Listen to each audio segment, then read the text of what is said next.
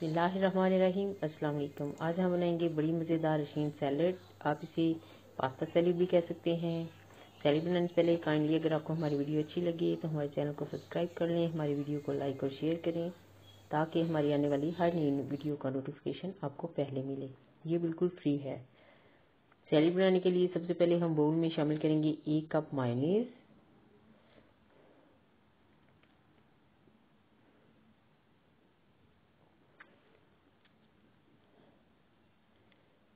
फिर हम इसमें शामिल करेंगे 200 ml क्रीम हैवी क्रीम होनी चाहिए। हमारे यहाँ हैवी क्रीम नहीं मिलती, इसलिए मैंने ये क्रीम इस्तेमाल की है।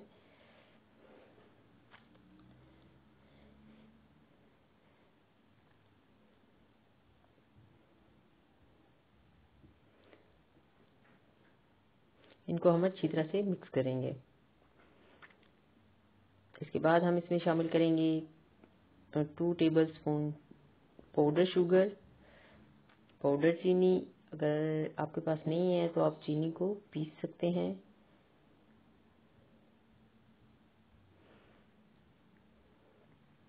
इसको हम अच्छी तरह से मिक्स कर लेंगे।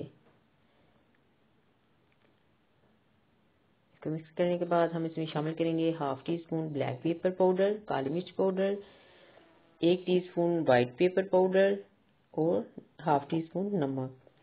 इन सब चीज़ों को हम अच्छी तरह से मिक्स कर लेंगे।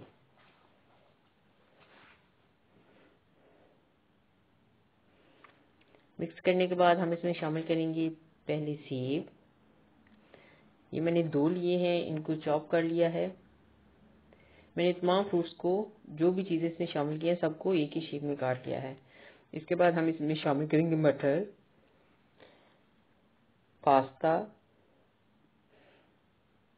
मैक्रोनी कर लें, पास्ता कर लें, ये मुख्तलि शेप्स में मिलता है, आपको जो भी शेप अच्छी लगे, आप वो इसमें शामिल कर लें। इसके बाद हम इसमें शामिल करेंगे बंद गोभी। वन थर्ड कप इससे ये क्रंची क्रंची सा टेस्ट आएगा। इसके बाद हम इसमें शामिल करेंगे खीरा। वन थर्ड कप सूरज शिमला मिर्च जो है, वो वन थर्ड कप कॉर्न वो हम थर्ड कप शामिल करेंगे और उनको मिक्स करेंगे।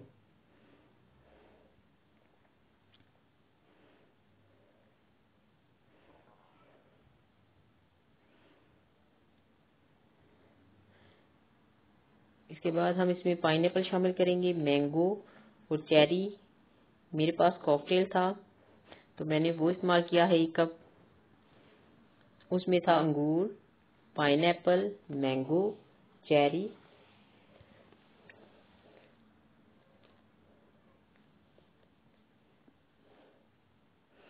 इसके बाद हम इसमें शामिल करेंगे सफ़ेद चने।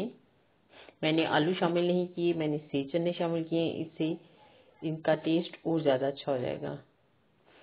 बड़ा मज़े का फ्लेवर होगा।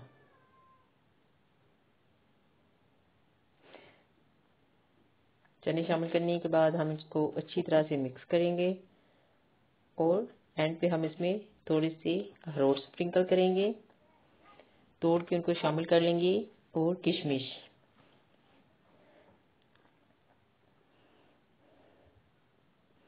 इसको हम मिक्स कर लेंगे और हम एक घंटे के लिए फ्रिज में रख देंगे ताकि ये ठंडा हो जाए और ये अच्छे से सेट हो जाए। आप इसको तारी में ज़रूर ट्राई करें। ये बड़ा ज़बरदस्त मुख्तलिफ़ फ्लेवर के साथ बड़ा ही मज़े का बनेगा। अल्लाह हाफिज़।